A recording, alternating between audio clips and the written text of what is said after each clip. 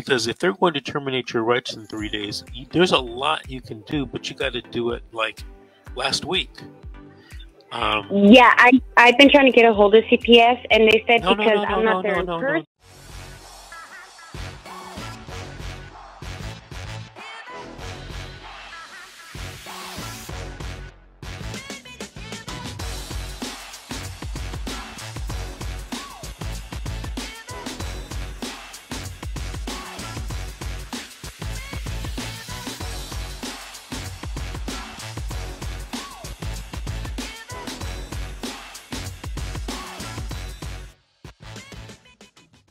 Okay, we're back. I'm attorney Vince Davis. This is The Secret How to Fight Child Protective Services and Win. I'm on with my co hosts, Amanda Cisco and Brian Hamilton. And before the break, we were talking uh, to Diana from Arizona.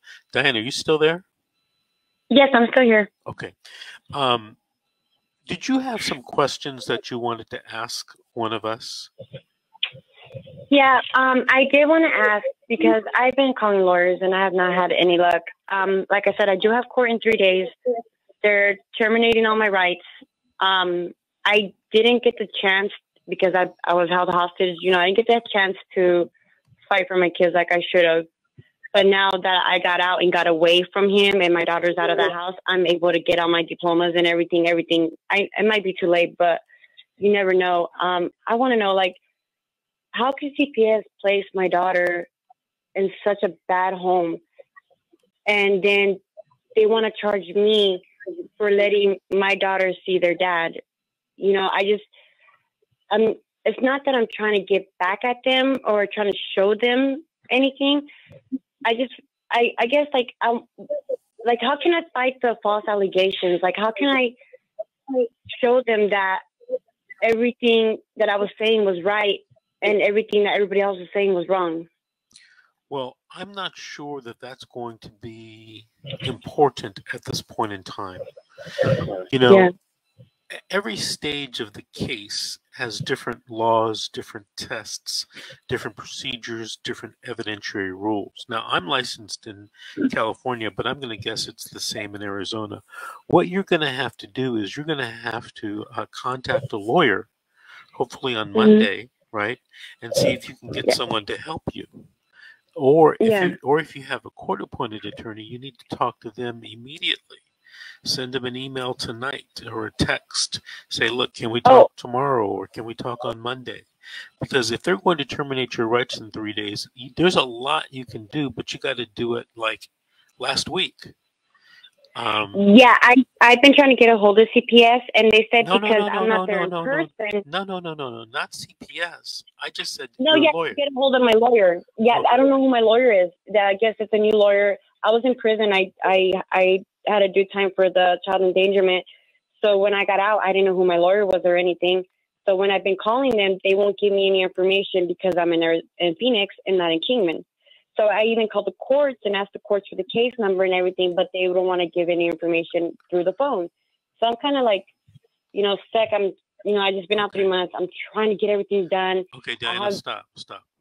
Get an attorney, find an attorney online in the yellow okay. pages, someone that practices in this area in that county, um, mm-hmm. you know, that practices CPS and juvenile dependency law, because there may be a lot you can do. It's just that you're literally running out of time. And if you're yeah. if they're going to terminate your rights in three days, there's a lot you have to do. A lot. Hey Diana, yeah. I, want to thank you for calling and thank you for listening. Uh, call us in a thank few weeks and give us an update. Okay, let us know what happened. Okay. But it's imperative okay. that you get, get an attorney. There's a on the postings on one of the Facebook pages as well. There's a young lady from Arizona, and she also says you got to get an attorney. Okay. Okay. That's gonna, okay. At this late stage, if I can just if if I can just say too, you know, I mean, it, you may be able to qualify for victims of crime, which is uh, um, a, so uh, basically it provides um, financial support for things like therapy and um, and legal um, legal expenses. So you might see take a look into that too if that's something okay. that's a difficulty for you right now. Because yeah, I've been calling lawyers. I've had already 30 lawyers that I've messaged, called, and I have not got any luck. But I'm I, am i am not going to stop trying. You know. Right. You know what you might want to do is you might want to call your local county bar association or state bar association and try to get some referrals from them. Usually, bar associations have what they call a department that's called something like their lawyer referral service. And they will dial okay. you into one, two, or three attorneys where you can go get a low cost or free consultation and find out what you have to do. But you're running out of time, Diana. You got to start it, yeah. you know, tomorrow, Sunday, Monday morning, first thing. You're on the phone. Mm-hmm. Okay, Diana? I will. Thank you for calling. You. Don't, don't forget to call us back and give us an update. Appreciate I will for sure. Thank you, guys. God bless you guys. Alrighty. Um, you. you know, I, I was uh, listening to Diana's story, Amanda, and did it sound familiar to you? It definitely did. It, it sounded very familiar, um, but more so the part where um, I never got to spend any time in jail, um, thankfully.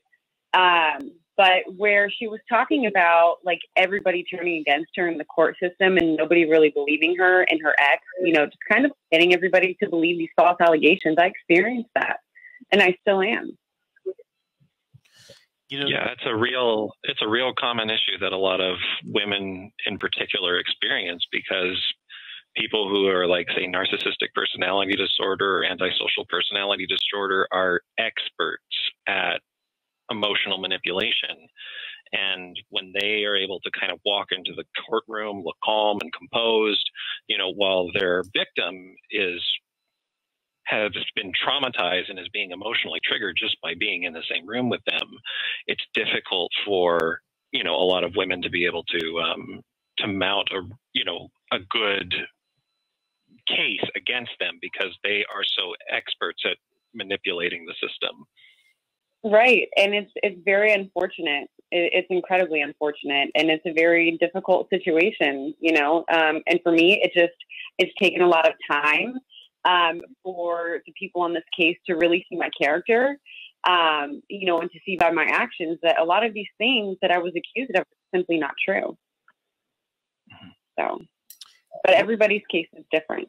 Yeah what kind of, you know, assuming everything that Diana was telling us is accurate, and I believe it to be, the the situation she's in is, you know, a very difficult uphill battle, almost impossible. You know, there are a lot of people that would say, well, she put herself into this situation. I don't really think that that's the analysis at this point. She's in this situation. I don't think society has benefited um, by her losing her parental rights you know, uh, to seven children, um, given the fact that she has seems like she has a lot of evidence and she just needs an attorney to present it. And she can't find one. She doesn't know who her court appointed attorney is. You know, I just thought of something, Diana. If when, when you go to court uh, in three days, one of the things I would do is ask the judge for a continuance or ask the attorney to ask grant you a continuance because you you don't know who your attorney is. How could you prepare for your case? How could you prepare a defense? And if they don't give you um, a continuance, that may be grounds for uh, an appeal. Because if you just got out of jail and you don't know who your attorney is, and nobody will tell you who the attorney is, um, you know, you're destined to lose, and that's just not fair. And I don't think our our system operates like that no matter where you are, you know, California or in Arizona.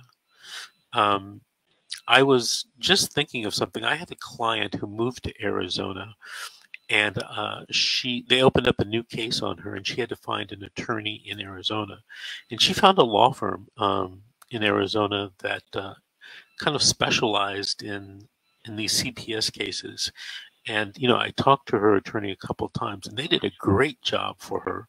So, Diana, why don't you send me an email, v.davis at vincentwdavis.com, and I'll see if I can call that client and get the name and telephone number of that attorney because he was really, he was very good. He knew all the issues, he knew what to do, and maybe you can call him as well.